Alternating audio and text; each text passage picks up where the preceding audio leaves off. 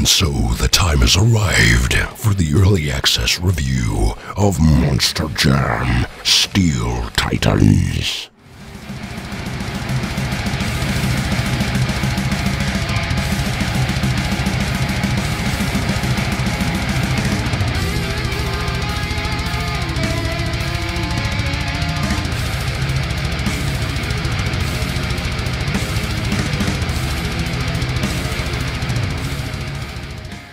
And I'd like to thank the good folks at Rainbow Studios and THQ Nordic for this early access opportunity. But enough of the blurb, because that's not what you're here for. What you're here for is, of course, the review of the game.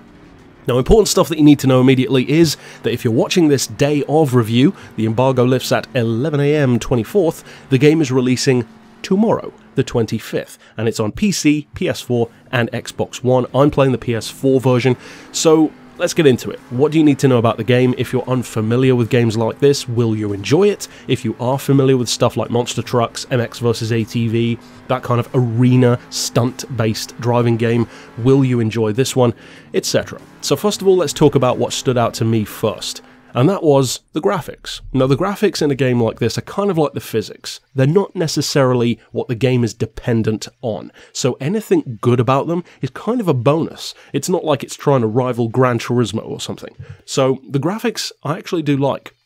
And one of my favourite things about the game is actually, kind of ironically, what games like Forza and Gran Turismo often get wrong, and that is the scenery. Often, driving games focus all of the graphics power on the cars or the vehicles in general themselves, and then the scenery can sometimes look a little bit whack. Whereas in a game like this, a stunt game, a lot of rally games, you'll see this as well. The scenery looks really good. The attention to detail is very focused, even stuff in the distance still looks good.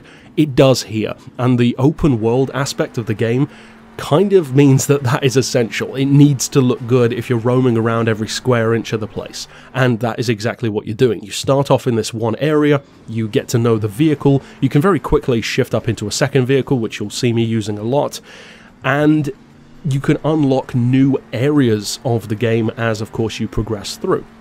Now, this is not just a stunt based game. If you are more of a racing fan, you won't necessarily be disappointed either, because there is plenty of racing in the game as well, and doubtless I will feature some of that footage edited in here also a lot of jump based racing with some more like cross country point to point kind of stuff where you have checkpoints but you can kind of make your own way there.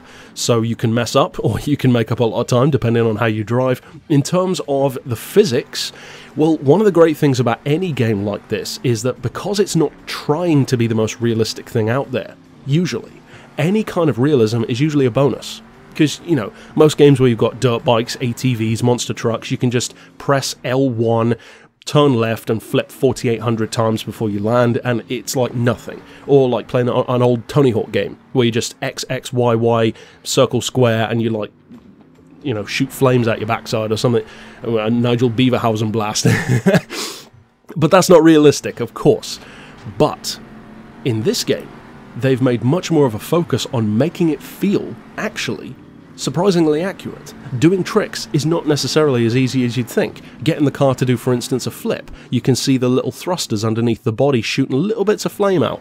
Now, when you flip the car, you can easily smash it just straight upside down. And of course, you can right the vehicle if you land sideways. You can do a power out, which is very fun. it's kind of like breakdancing with a monster truck. And in terms of the vehicle itself, you can feel the weight of it. And that's something which you can immediately notice when you first start playing the game. And it's something that I liked about it actually, because this is a monster truck. It shouldn't feel like you're driving a rally car. It's this huge, heavy, monstrous thing, and that's kind of the point of the game. It needs to feel right. If it feels like a smart car with huge wheels, then you've done something wrong. This doesn't. They feel big, they feel heavy, but they don't feel cumbersome they feel and move just like they would in an actual arena when you're watching them, which is surprisingly fast because of how powerful they are, and also because the wheelbase is not ridiculously long in comparison to the width and the height. They're very maneuverable, almost like driving a big cube area vehicle instead of a long rectangle kind of car, if you know what I mean, in terms of the center of gravity. So, in terms of the physics, I like it. The tricks might not necessarily put some people off, but eh, some people might find them a bit frustrating to begin with because you've got to get it right, otherwise the car will just flip over. which is, as I said, far more realistic. So if you're looking purely to just go ridiculously over the top, then it might not be the game for you. But if you're looking for a more grounded approach at monster trucks, you actually just might. The graphics are good, the lighting, the colours, the soundtrack is, as you'd expect, metal. and in terms of the career progression, or if there is one, for instance, because that's not guaranteed in a game like this, I found that the career is not the kind of thing that I would traditionally put a massive amount of time into, because this is more the kind of game which is similar, for instance, to the way I feel about Project Gotham Racing, which is I mainly play it to experience the vehicles, and the career mode is always secondary to that. This is kind of the same, because you've got 25 vehicles in the game, and of course they all work with essentially the same specs, it's just different bodies. My favourite's probably Megalodon, and you unlock these cars, you can smash off the bodywork, and if you smash it off, they all look the same underneath, so it's essentially just who you want to represent. Kind of like wrestling with vehicles, in effect. And in terms of, as I said, that career mode, the way it factors in is that you play through career mode and you don't necessarily earn money in a traditional sense.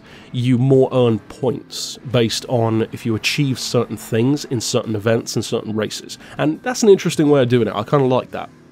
Because, for instance, you can just win a race, which is what you'd usually do to win the cash.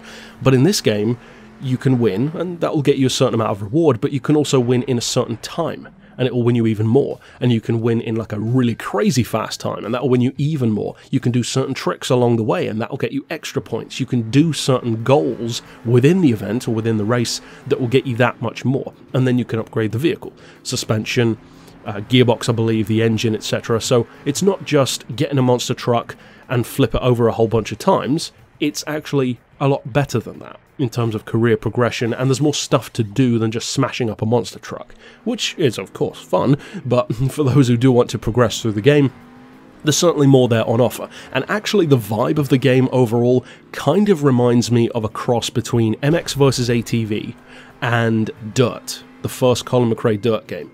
Those two kind of put together sort of reminds me of this. So, overall, if you are into monster trucks, it's not exactly a crowded market out there, so you'll probably want to give this one a look.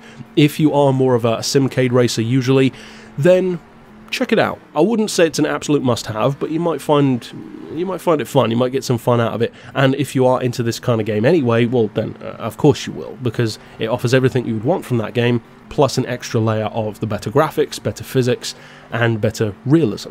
So overall, that's it for my thoughts on Monster Jam Steel Titans. And again, thanks to the good folks over at Rainbow Studios and THX, or THQ actually, Nordic, for giving me early access review to the game. So go and check it out if you think that it interests you, and for now, as always, thanks for watching.